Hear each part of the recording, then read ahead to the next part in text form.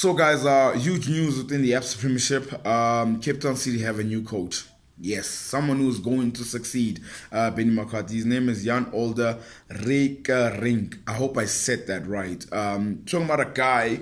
I mean, I look at his CV. I even had to print it out, you know, and I'm just like, okay, this guy coached in. He coached Ajax. Um, later went to Belgium. Um, was also appointed head of youth development at Ajax Reserves as well. Um, was assistant manager at Porto, assistant manager in, in Ukraine as well. Managed um, Galatasaray, won something with Galatasaray, and in his final stint, I mean, later stint was back in, in, in Holland again. And I must tell you, man, I'm, that CV is impressive. I mean, that's an impressive CV, guys. I mean, I I'm, i have to give it up to Cape Town City. I, I, I, I can't imagine they got this guy within two days or a couple of days. I can't imagine. This must be. They must have had talks with a coach of this stature a while ago. This can't be now. I mean, but I'm impressed with the fact that they brought in someone like this.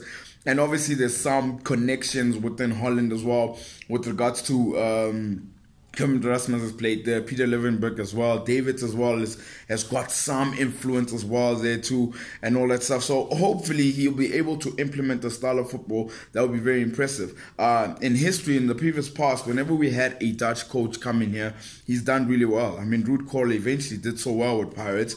Uh, we never, we never will ever stop talking about the treble season. And then Foppe de Haan with Ajax as well. What he did there was absolutely impressive, taking a young side all the way to second and pushing Pirates all the way. So whenever Dutch coaches come here, um, they seem to do well. So hopefully he'll be able to implement a style of football that is that is nice on the eye and easy on the eye. I feel I really feel like Benny McCarthy left him with a foundation that is sort of you can work with it and stuff. So that's pretty impressive. I'm, I'm impressed with Cape Town City getting someone of the stature. I won't lie. You know, I mean, obviously, I'm not saying the CV is gonna win him like titles and titles, but he'll have to prove it on the pitch. But damn, you must admit, for someone to have coached in so many countries and so many big teams as well, that is pretty impressive. Big ups to Cape Town City, and let's see how this marriage will work.